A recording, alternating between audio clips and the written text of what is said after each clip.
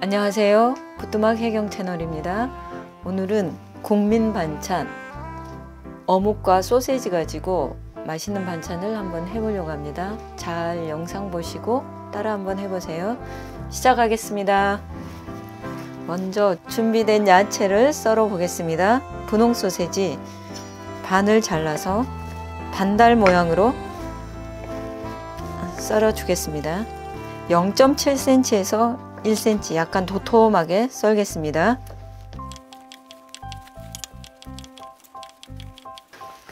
어묵은 사각 어묵 얇은 걸로 준비하였습니다. 삼각 모양으로 썰어 주겠습니다. 양파는 약간 도톰하게 썰어 줄게요.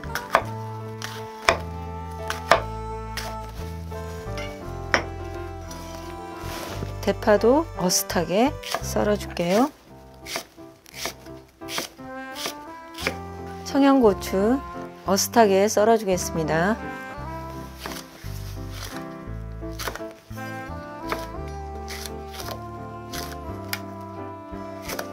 모든 재료를 준비해 놓고 양념장을 만들어 보겠습니다.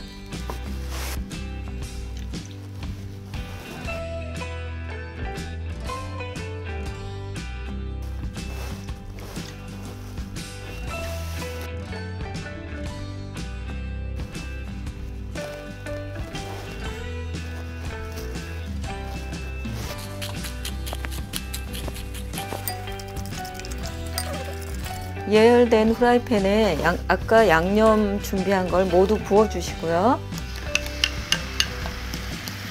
보글보글 양념이 한번 끓어오르면 준비된 어묵과 소시지를 넣겠습니다.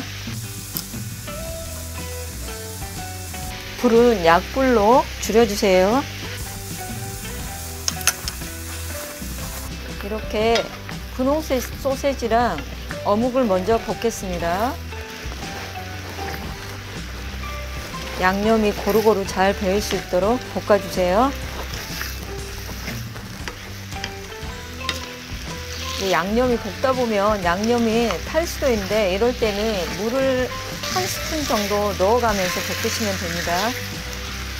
양념이 어느 정도 스며들면 아까 썰어둔 양파와 대파와 청양고추를 같이 넣고 마무리하겠습니다.